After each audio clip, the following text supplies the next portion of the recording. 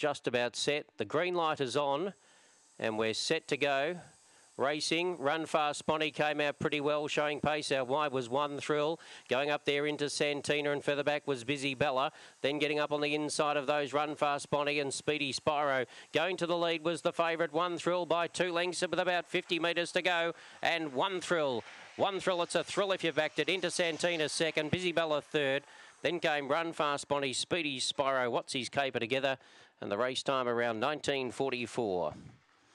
Number seven.